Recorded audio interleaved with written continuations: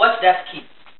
In 2 Samuel 20, there is a story of the time when King David sent Amasa, one of those who were loyal to him, to run after an enemy whom he feared might eventually do them harm.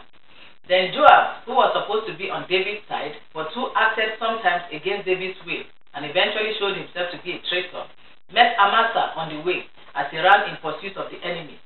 Verses 9 and 10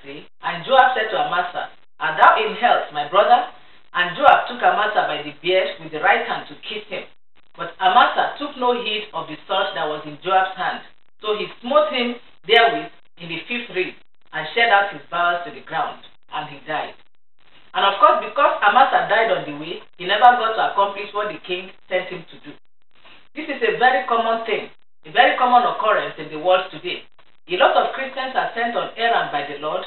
The devil sends Joab after them, who comes pretending to be their brother, sister, well-wisher, friend, co-laborer in the vineyard, and so on. Unfortunately, just like Amasa, many Christians are not able to notice that Joab is actually an enemy holding a sword and sadly, they get killed and end up unable to fulfill their calling and the purpose of God for their lives. Oh, that the Lord in His mercy will sharpen our spiritual antennae and also make our spiritual eyes and ears see and hear more clearly.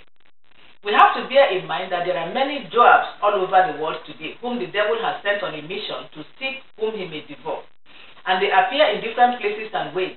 For instance, you have just started to work in a company and someone who has noticed that you are a Christian introduces himself to you as your brother in Christ.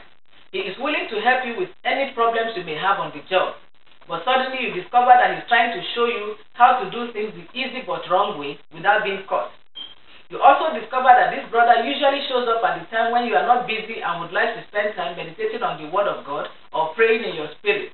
He comes with all these stories that are not edifying about your other colleagues, bosses, and so on. He tells you all the wrongs that are being done in the company and subtly tries to initiate you into the club of the rebellious.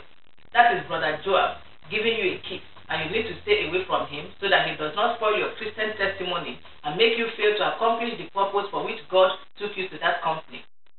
You relocate to another country or town and become a member of a church. A sister notices you and walks up to you you inform her that you are new in town. She promises to help you find your way around and settle down.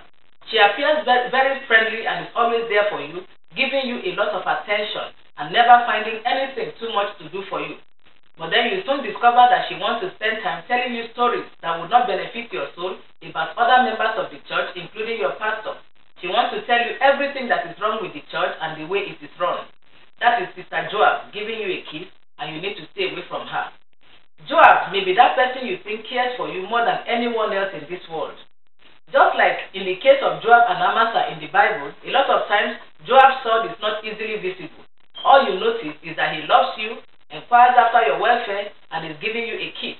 But then he's holding a sword in his hand which the devil has sent him to kill you with. Remember what Isaiah said? In the year that King Uzziah died, I saw the Lord also sitting upon a throne. Isaiah 6 1.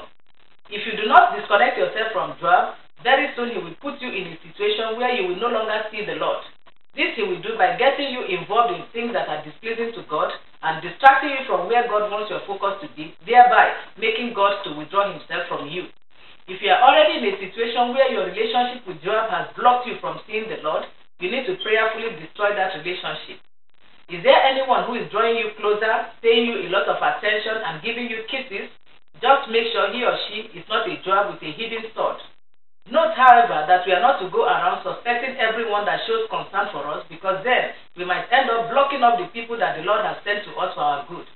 Just like there are Joabs everywhere, there are also very many sincere brethren in every place.